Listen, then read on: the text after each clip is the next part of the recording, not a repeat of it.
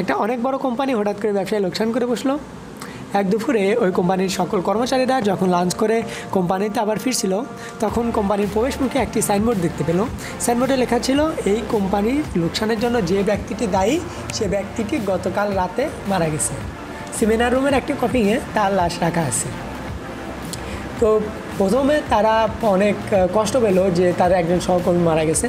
তারপরে তারা অনেক বেশি আগ্রহী হয়ে উঠল যে এটা জানার জন্য যে কে সে ব্যক্তি, যে ব্যক্তিটি তাদের সফলতার পথে বাধা হয়ে দাঁড়িয়েছিল। তবে তারা একে একে সেমিনার রুমে গেল সে ব্যক্তিটি দেখার জন্য যে আসলে কে কে সেই লোক, যে ব্যক্তিটি তাদের সফলতার পথে বাধা হয়ে দাঁড়িয়েছে।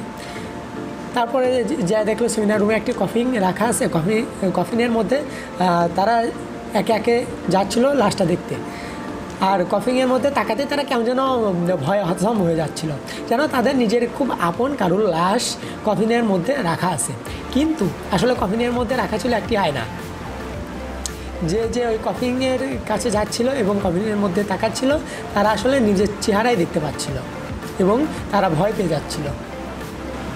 কফিংয়ের ভিতরে আয়নার পাশে একটি ছোট চিরকুট ছিল। চিরকুটে লেখা ছিল যে, তোমার সফলতার পথে বাধা হয়ে দাঁড়াতে সক্ষম পৃথিবীতে এমন লোক আছে মাত্র একজন। আর সে একজন হচ্ছে তুমি নিজ- তুমি সেই ব্যক্তি, যে ব্যক্তি নিজের সফলতার পথে বাধা হয়ে দাঁড়াতে পারো। তুমি তখনই সফলতা অর্জন করো যখন তুমি কোনো কাজ মন দিয়ে শুরু করো এবং সাহসীর মতো এগিয়ে যাও, দৃঢ় মনোবল নিয়ে।